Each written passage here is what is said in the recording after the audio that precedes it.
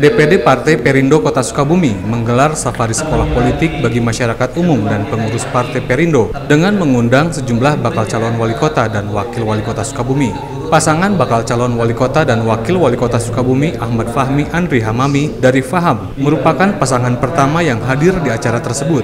Acara temu calon wali kota dan wakil wali kota Sukabumi ini membedah visi serta misi calon wali kota Sukabumi sebelum bertempur di ajang pemilihan kepala daerah kota Sukabumi tahun 2018 ini. Fahmi dan Andri secara bergantian memaparkan visi dan misinya di hadapan kader dan pengurus Partai Persatuan Indonesia Perindo Kota Sukabumi tersebut. Pasangan yang diusung PKS dan Demokrat ini juga menjawab sejumlah pertanyaan terkait berbagai permasalahan di Sukabumi. Menurut Fahmi, dirinya sangat mengapresiasi apa yang dilakukan oleh Partai Perindo Kota Sukabumi ini.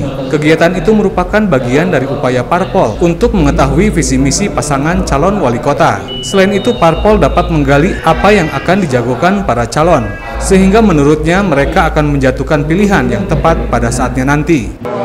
Ya bagi saya saya mengapresiasi ya apa yang dilakukan oleh Perindo Kota Sukabumi ini karena ini bagian dari setiap partai politik harus mengetahui visi misi pasangan calon apa yang akan dilakukan oleh calon sehingga ketika mereka menjatuhkan pilihan mereka menjatuhkan pilihan yang tepat.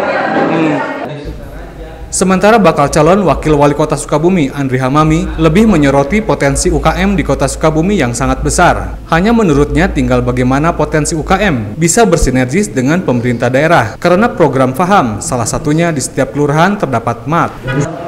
Potensi UKM-nya besar, hmm.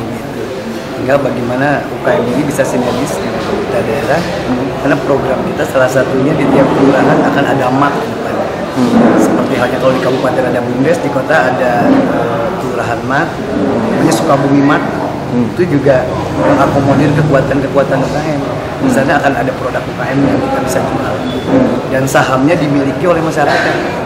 Setelah bedah visi dan misi, pasangan Faham ini mengharapkan agar Perindo dapat bergabung mendukung pasangan koalisi PKS dan Demokrat ini. Terlebih pasangan Faham diundang pertama kali ke Perindo karena memiliki kedekatan visi dan misi.